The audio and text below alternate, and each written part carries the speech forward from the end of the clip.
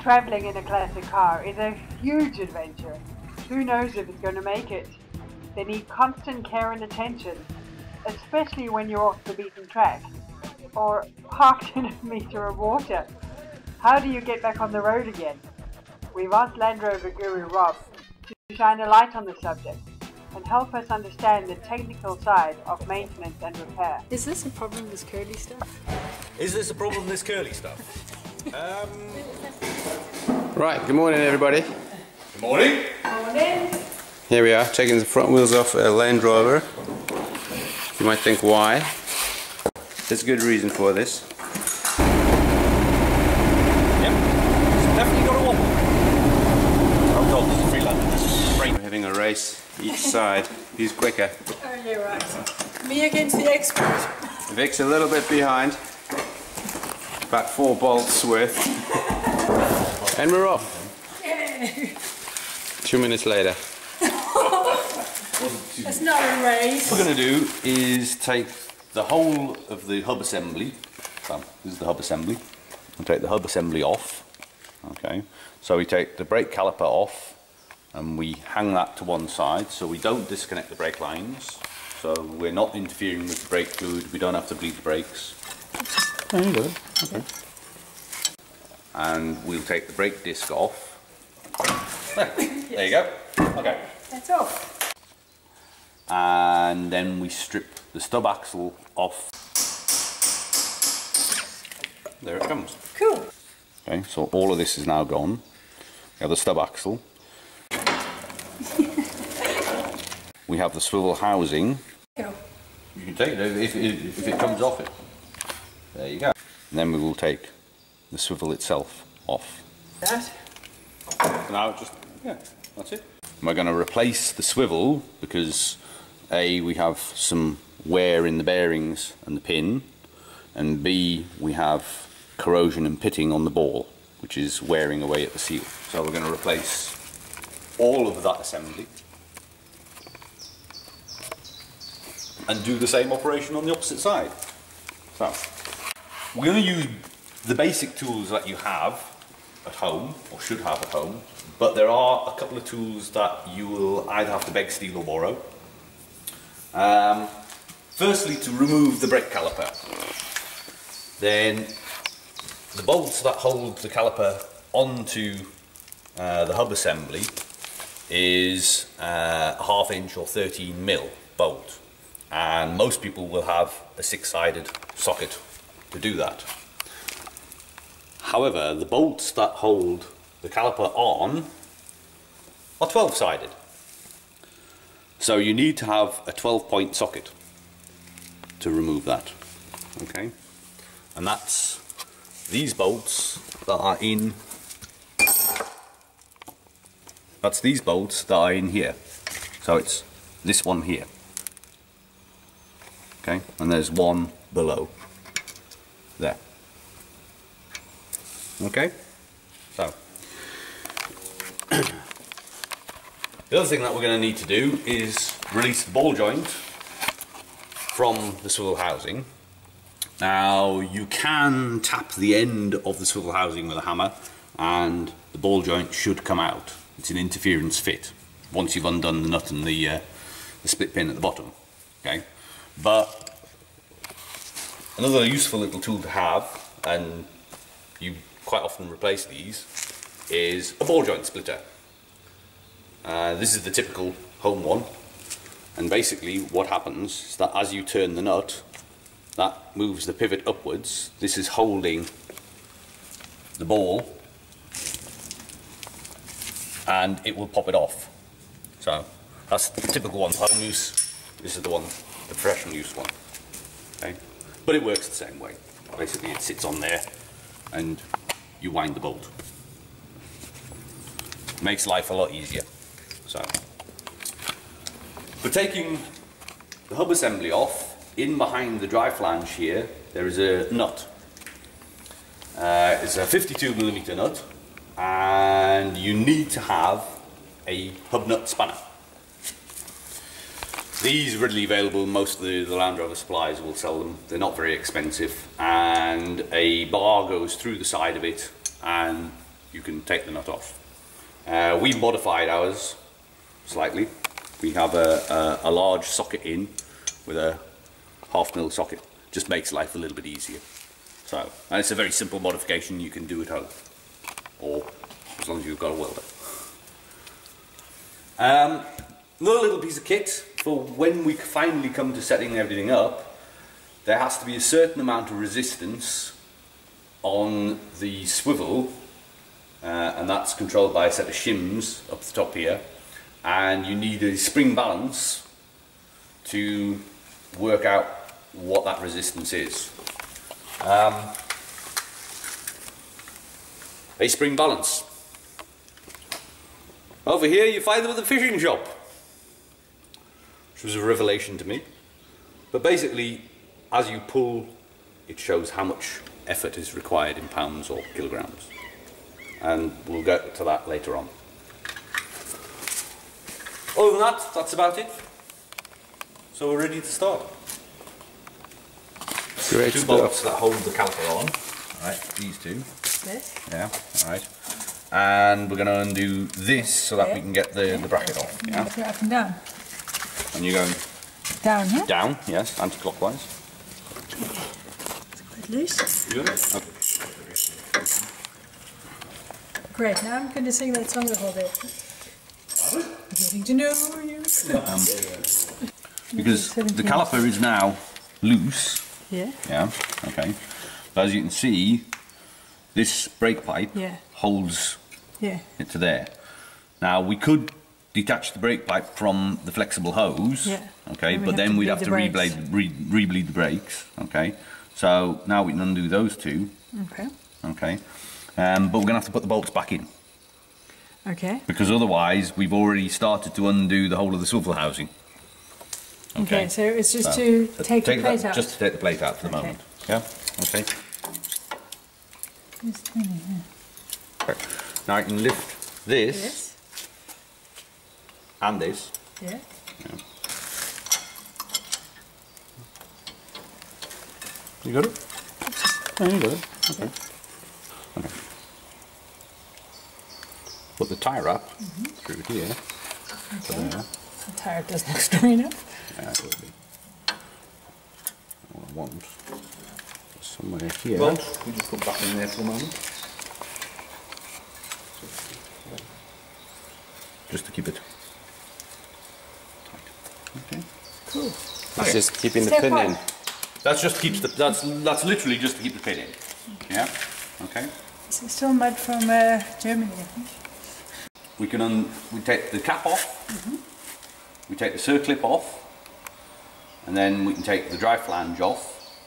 Then we can take the whole of the brake disc and hub assembly off in one. Yeah. Yeah. Just lever it off. Yeah. So. Yeah. Aha. There you are. So. Okay. And then here there is a circlip Yeah. How'd you see. get those out with pliers? with circuit wire. Aha. So.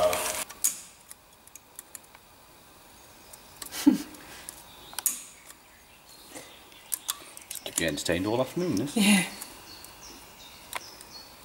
Ah. it feels so weird. You're doing the opposite of what you normally do. And there are also a couple of little metal shims in behind. What are they need for? off. It's basically for the spacing for movement on the axle. All right. How right. do I stop this? Okay. You put a screwdriver in. Yeah. Turn it. Okay. Do it up. Yeah, you go. Must go up, right? Yeah, you go up. I hold it.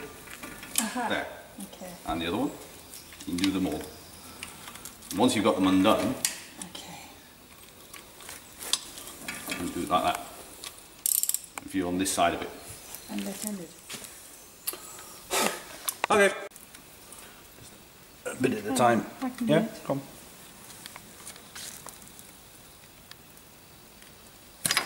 That's the one. Okay. okay. So this is the drive flange. So the axle mm-hmm. is driven, mm-hmm. and these splines marry up with these ones, mm-hmm. and that turns this. This in turn then turns the whole of the hub assembly. Okay. Okay, so this is the bit that drives the wheels. So without that, the wheels don't turn. Correct. Okay. Okay. And in behind here, there, now you're starting to feel that there is a nut. Yeah. Yeah. You have the nut, and on Land Rovers up to 1999, okay, um, there are two 52 millimeters nuts. One here. There's a, a locking tab, which you have to push back, and then behind that there is another one. Okay, and this is used to control the end float on the bearing because you've got two um, taper bearings, and by setting that to the correct tightness, then you set the correct load on the bearing. Okay. Um, after 1999, so TD5 onwards, then there is a single nut, and there is a spacer that sits in the middle, about there, that uh, using different sized spacers gives you the correct setting for the bearing. Okay. So, I can just see the one up here. so, so first of all, we've got to knock back this locking tab. Yeah. Doesn't smell as bad as diff oil. There. Oh, I see. To push it up. Yeah, that push it up. Okay. Point me the hammer.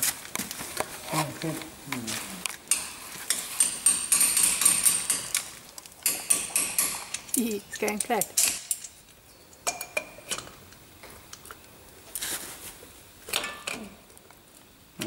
Yeah, that's It it. is already. Yeah. Okay. Hmm. Could you tap that loose with a screwdriver and a hammer? You can tap it loose with a screwdriver and a hammer as well, if you don't have the hub nut spanner. Not exactly the correct way to do it, That but one comes in here. Yeah, that goes in there. There. Now you need to take the locking tab off. Yeah. Okay, so we can prise that off. Okay. Then bend the screwdriver. You don't bend the screwdriver. Oh, we've it's been not quite a very- few.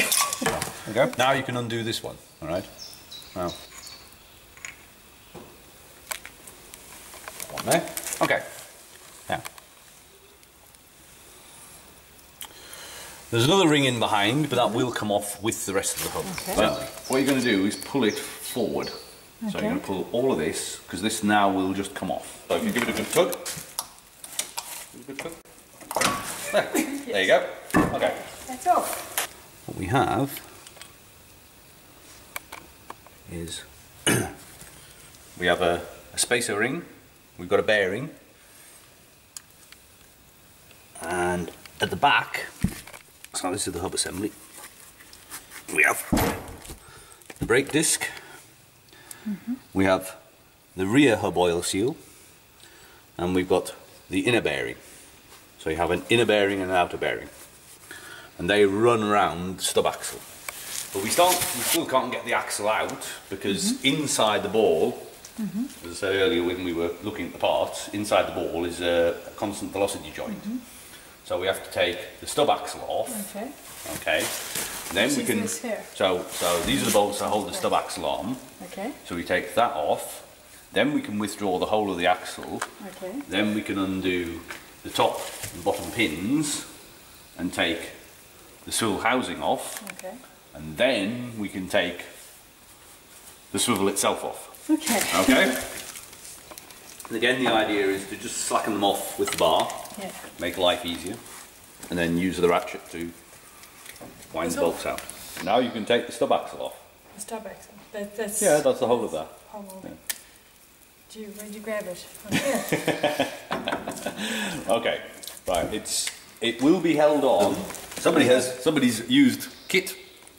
Hold it on. Yeah. Okay. We may have to use a bigger one. Your hands, please.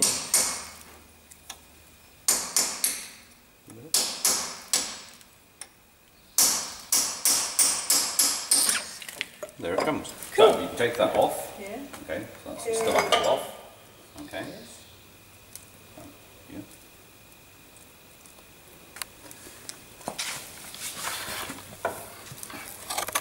And you can take the whole of the axle out now. Differential. So it's going to be about that long. So can I, uh, No, no, no, no, no, not going to hit that. That.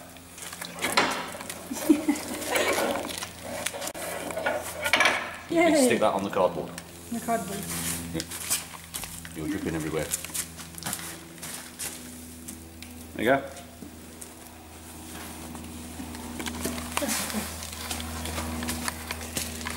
So that there is your constant velocity joint. On the end. And that basically allows the axle to turn and for the hub with the wheel on it to move in any direction, keeping the power. Take the pin out, take the pin out, mm-hmm. and then we have to undo Nut. this nut, okay, and then we'll put the ball joint splitter on Okay, and then pop it and out. pop it out. Cool. Yeah.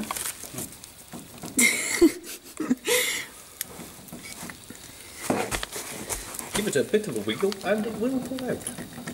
Yeah that moves first without the ball moving. Okay. And normally that'll take a little uh, bit of persuasion with it. Yeah, okay. So, yeah, as I say, I want to make sure that the ball doesn't move. Sometimes the ball will go with that, and you're just turning and turning and turning. thi- this ball? No. Which ball? That, The, that. the ball inside there, the Oh, ball okay. All right. All So, right. so turn it with a spanner, and you can see whether the bolt, whether the nut turns in relation to the pin, This. Yeah. Okay. or whether they both turn. Okay. Okay. So, so we go that way, and you can see that the nut itself is turning free, Okay. and then actually you can wind it off with your finger. So, there is a washer underneath. Yeah. So, you put that together. with the pin to have the ball joint splitter. Mm-hmm. What you can do, if you don't, is with a hammer, you need to hit it about there. You don't hit the ball joint at all, only the, on the housing. The housing will take the thing. Basically, you create a shock wave that goes through, mm-hmm. and because that is uh, a conical taper fit, mm-hmm. it will release. So just pop it out. Yeah. Okay.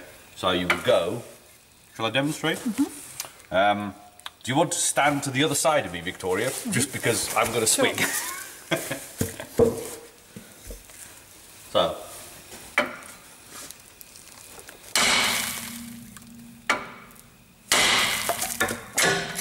And it's out. Lovely. And Okay. the extension? Yeah, you can do it with the extension. Then you get your hands covered.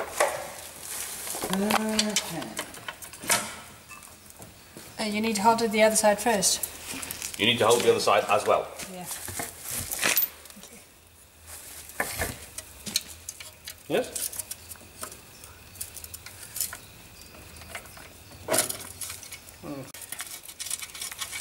And we have to take the backing disc off. Yours is not very good anymore. But we have to take the backing disc off so we've got access to the bolts for the bottom pin. And then there is one, On the side. One here, on this side, here, that holds it on there. Okay? Okay, that's a big one. Yeah.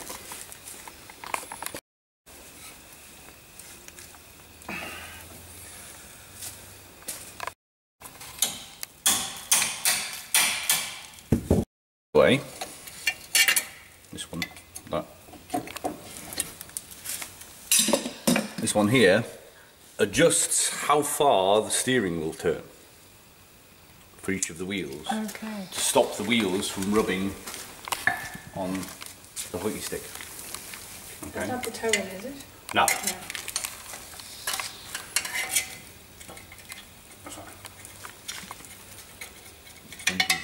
This side? No, I don't need it. How new is this spanner? This is the cutest thing I've seen.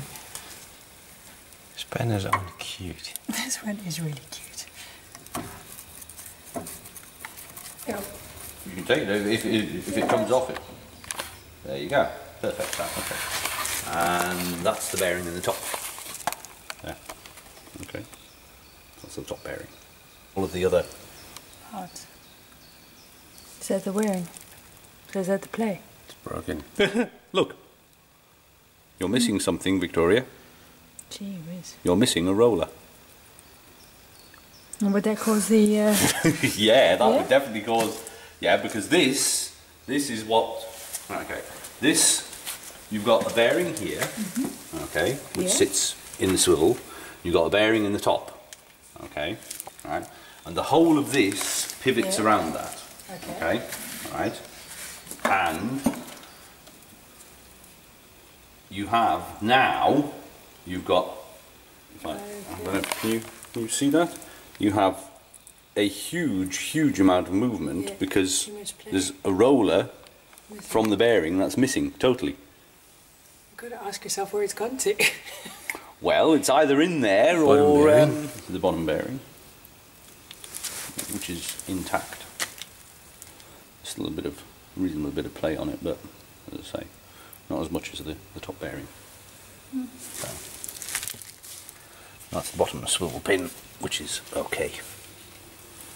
So you have here. Uh, HRC 2375. You see that? Yeah. Okay. okay. That to start them off, each of them. Yeah? Okay. So. it's nicer putting it back together again because everything's clean then. Alright, so how do you get it off? Yeah, I'm Okay, stuck. if you push the spanner towards the end of the flange, Oh, yeah, okay. Like undo the bolt with your fingers Undo. and take the bolt and the spanner off at the same time. Oh, right. See? Works perfectly. Cool. Okay, put the end of that. So now just, yeah, that's it. Just Yeah. comes straight out. Nice messy job. That one's made.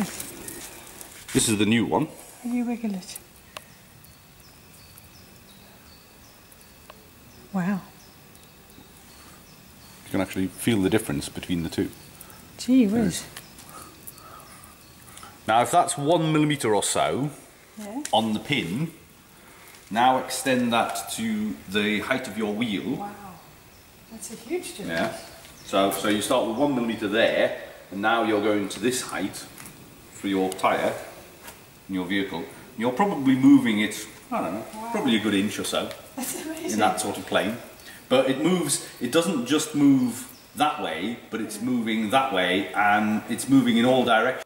The original ball that the uh, constant velocity joint sits in, okay, uh, a steel ball and then has a layer of chrome on it. And over the years, you get little stone chips and they chip away the chrome. And then you get rust, okay, and the rust then gets underneath the chrome and the chrome starts to fall off.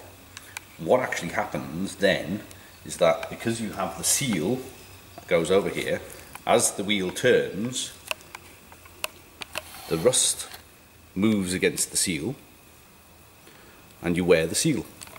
Okay? So, and that basically is the, the biggest cause of a failure of a seal. Yeah, the swivel seals. That's when you get Okay? leaking. That's when they start to leak. Okay? Now, in 1999, thereabouts, Land Rover changed the swivels um, and stopped chroming them. Okay, so so there's no longer a chrome covering, and this is actually a Teflon coating. And that's why this one is black and that one is silver. Okay, so they do a Teflon coated. And the idea now is that that basically you don't have the same problem with pitting and rusting. Right. I mean, that's me telling message and then a candlestick hold up the garden. It's a chalice. That's